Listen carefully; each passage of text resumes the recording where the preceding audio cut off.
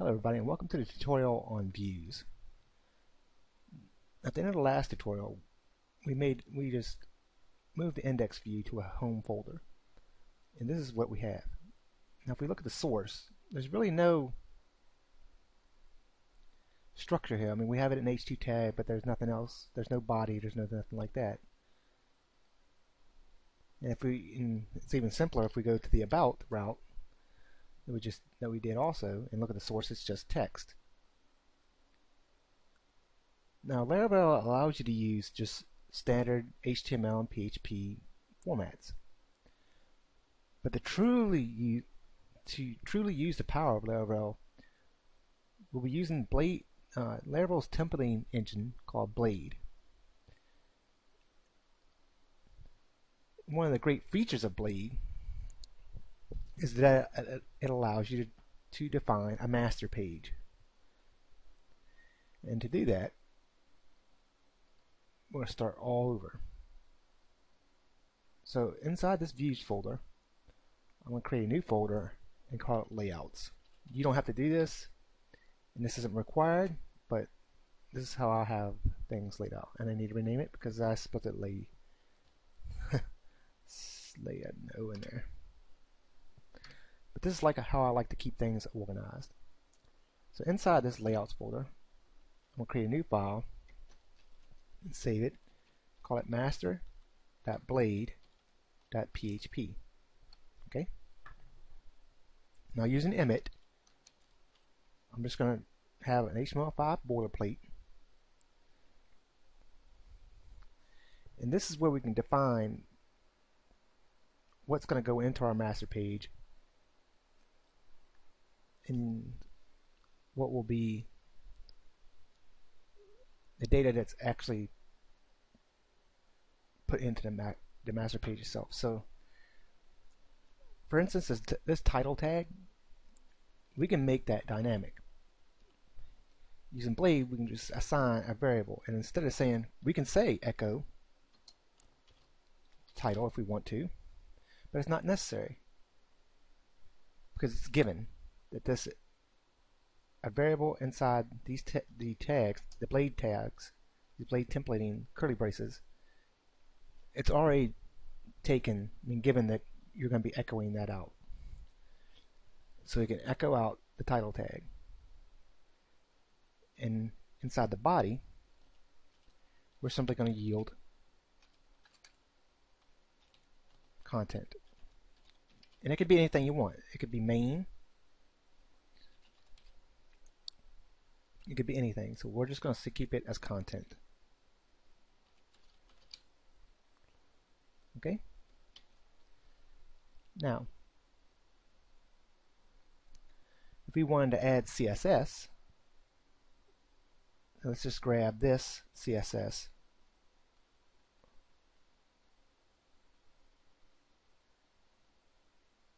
from the stock Laravel 4 we're just going to go down to public, create a new folder, call it CSS. Inside here, we're just going to save this as style.css. So style.css. Return that. Then come back in the blade into this master page and simply call the HTML class, the link, the style method, we're just going to say CSS style.css. And that's all we have to do. Let me call spell style first. And then let's go back in here and just we'll just go ahead and grab this here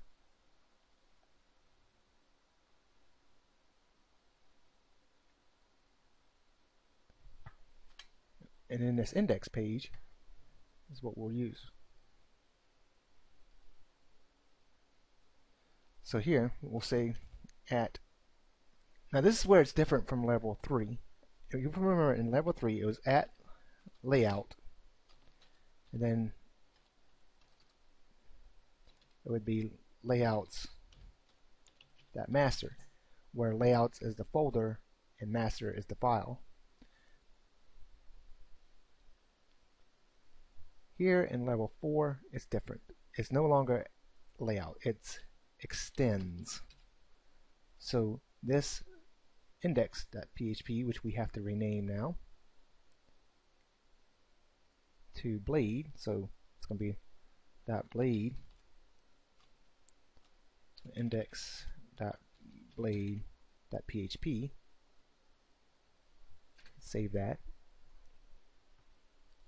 anytime you're using the blade template engine you need to have the blade inside the file name. So index.blade.php so now this is extending layouts.master so it's extending the master page.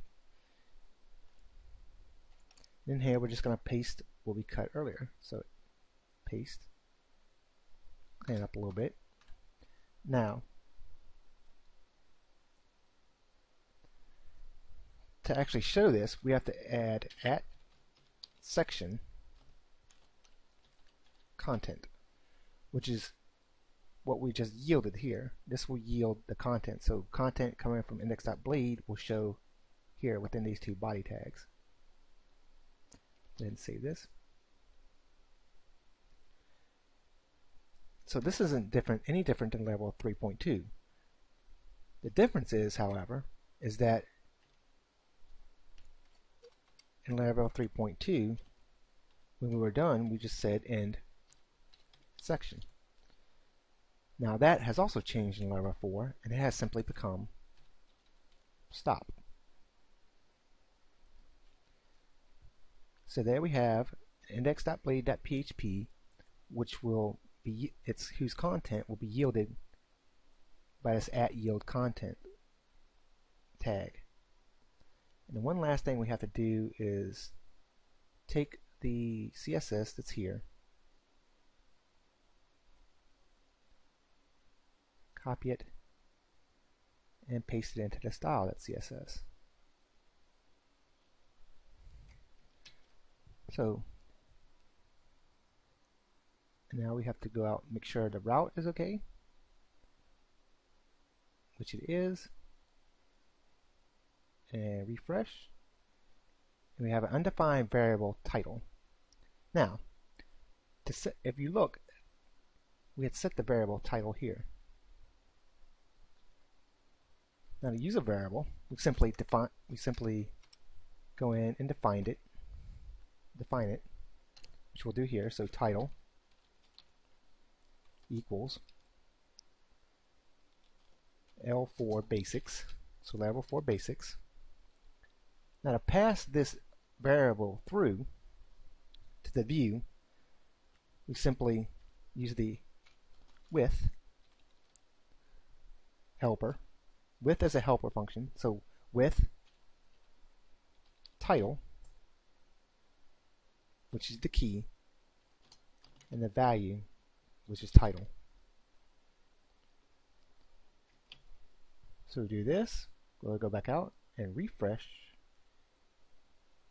and there's another error in syntax return. Surprised I didn't spell it wrong.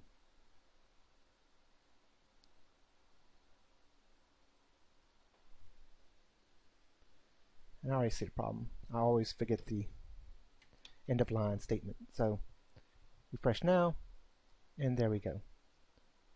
Essentially, we have done really nothing. We've just moved this over to a view. We're using this CSS, and we're using this master page. So now, how is that powerful? Well, this is what makes it powerful.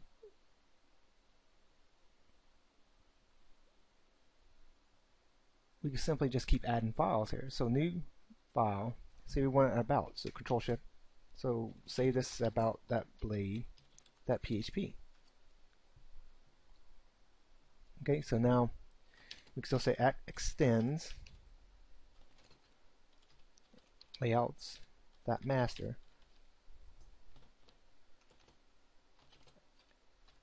Section content. At stop.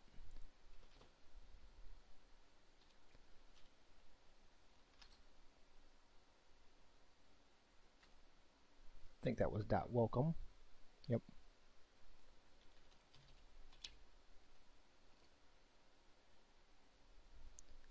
Welcome.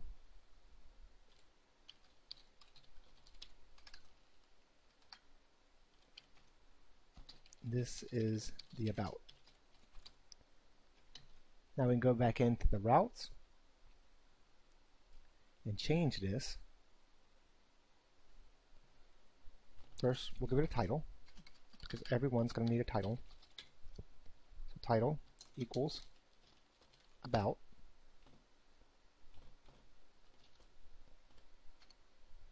Return a view, so return.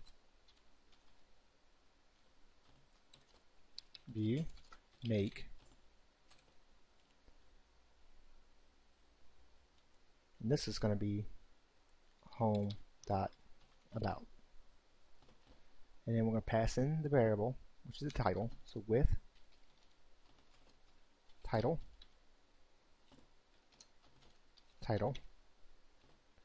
And that's all so now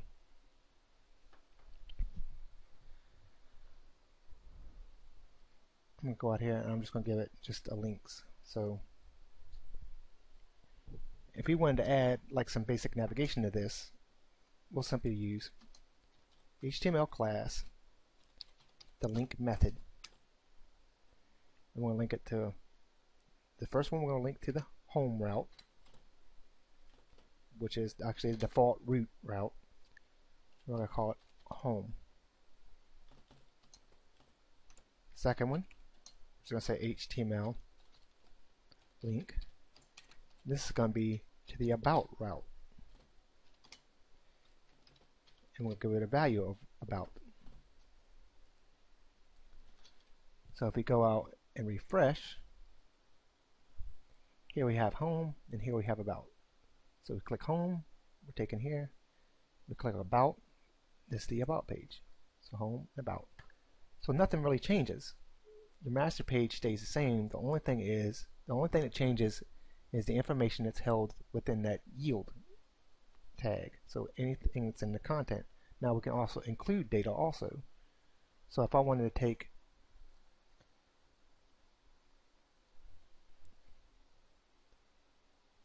this navigation,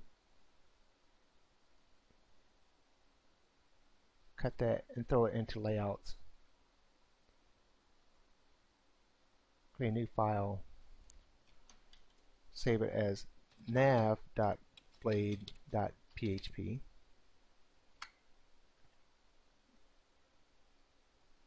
and save it in here. And come back out and type at includes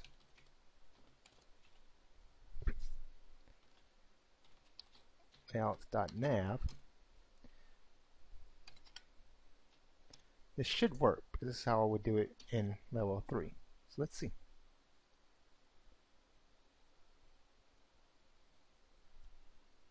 maybe it's include. Yes. So it's not includes, it's include. Of course we have no styling here, so it's home and about, and it still works the same way. So you can see here how you can work with a modular design. In the next tutorial, we'll get in to models.